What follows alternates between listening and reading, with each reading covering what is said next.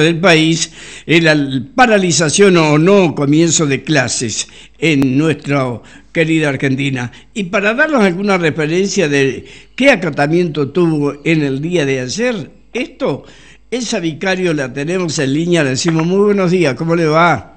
Buen día, Beto, ¿qué tal? Muy bien. Bueno, sí, queremos una palabra autorizada de eh, cómo abarcó, qué eco tuvo en nuestro distrito fundamentalmente este paro. Eh, bueno, eh, a nivel nacional sabemos que ha sido este alto el acatamiento. En lo que respecta a Peguajó, puedo decir que la, la rama inicial prácticamente fue total, ya bajó el porcentaje de acatamiento en la rama primaria y las escuelas secundarias aún no han empezado el ciclo lectivo. Esto es lo mismo que se ha dado en toda la provincia.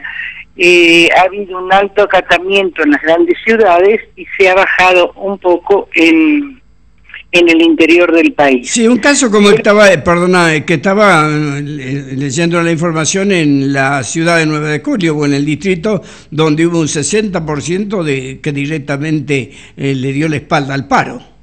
Sí, acá también, pero se ha tomado como la rama secundaria, que es lo que ha hecho bajar el porcentaje, acá podemos hablar de un 50-55%. Bueno.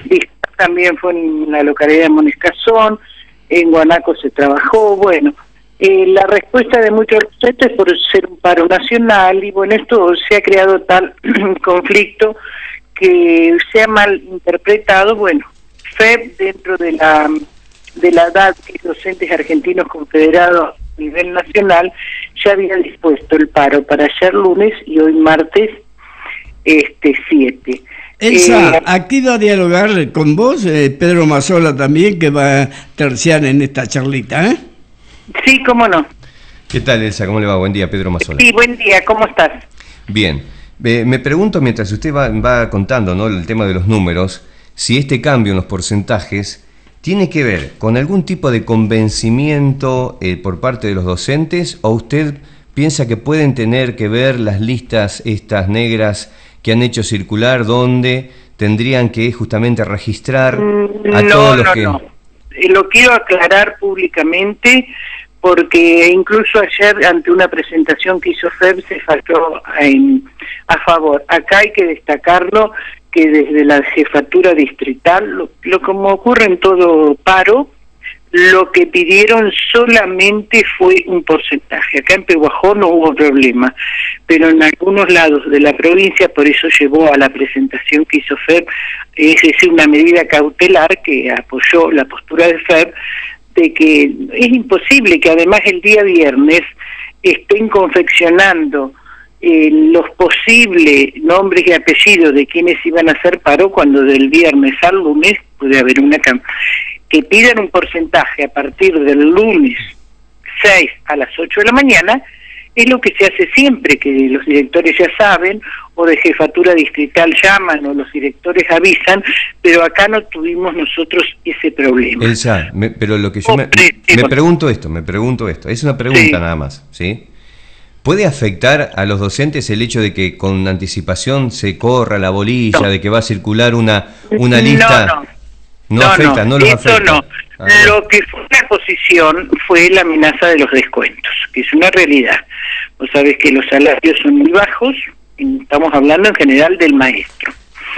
Este, aún con dos cargos, que son a veces sostén de familia, no, eh, continuamente desde que se anunció el paro se está hablando de los descuentos. Hay quienes lo han planteado es más que nada porque muchos docentes ni se enteraron que andaban en otros distritos esas listas, así que esa no fue la razón. ¿eh? Y algunos se pusieron de acuerdo en alguna escuela, lo mismo ha sucedido, mira, en todo el país se ha dado, porque justamente un, este la señora de mi hermano que está en la provincia de La Pampa, también lo que ha pasado acá, a lo mejor una escuela un turno trabajaba, el otro no. Por eso te hablo que en general ha sido dispar, pero puntualmente en la provincia de Buenos Aires, y ya refiriéndonos a Pehuajó, lo que pesó fue eh, la amenaza del descuento. Bueno, ahora eh, a, través de la justicia parece que hay una orden sobre la provincia de devolver, ¿no? Lo descontado. Sí, eso están hablando de, de, un gremio que pidió los dos paros de... Pero vos sabés cómo es la justicia y la justicia argentina. Después esto se sigue apelando, llega a la Cámara, pero te puedo decir porque lo que nos han planteado algunos afiliados. Te digo, en muchos casos en este momento, con la situación económica que hay, son de familia y no quieren arriesgar.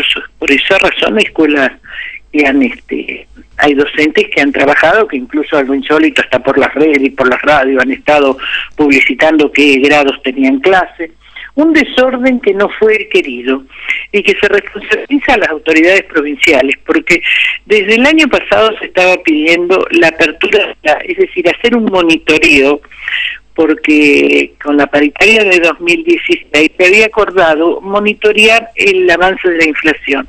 Ahí ya hubo una pérdida en el año 2016.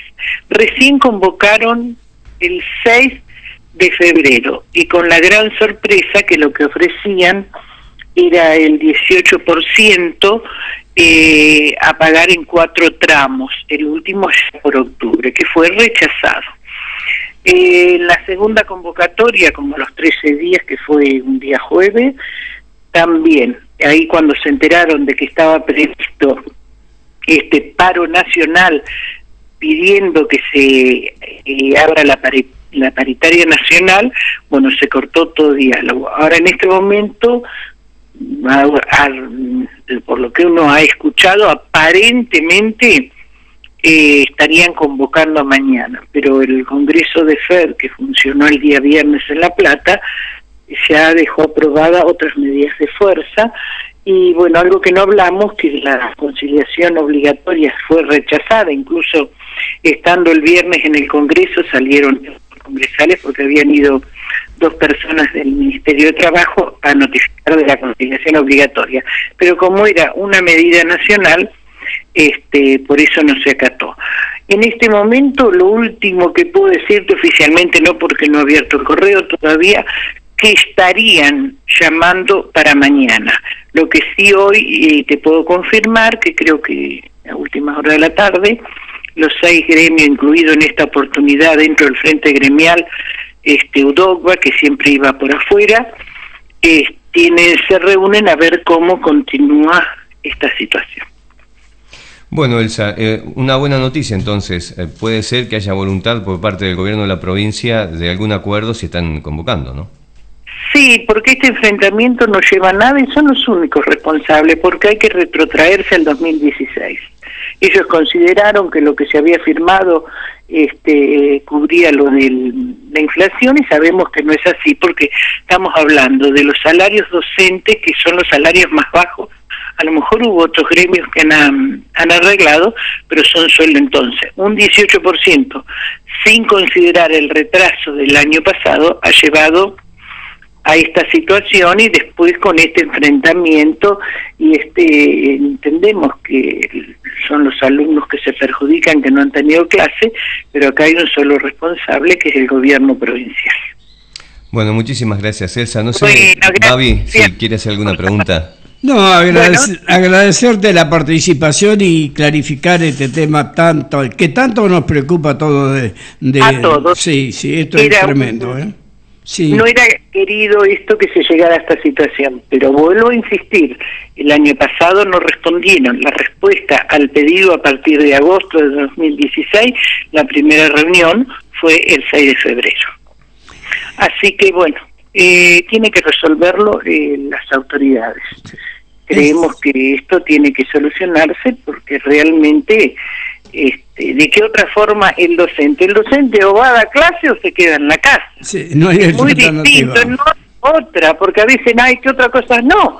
O se va a dar clase o se hace el paro, porque ya de otros de diálogos y de llamados, además no solo la mm, eh, dentro de las comisiones salariales, todas las otras comisiones, las reuniones de cogestión, lo que hace a salud, a las condiciones dignas de trabajo, no, no funcionó ninguna comisión desde el año pasado. El primer llamado fue el 6 de febrero. Por eso te vuelvo a reiterar, las, la responsabilidad son de las autoridades. Te agradecemos muchísimo la participación. ¿eh? A ustedes gracias por haber llamado. Bien. Buenos días. Buenos días. Elsa Vicario de la mañana. Con este tema tan preocupante.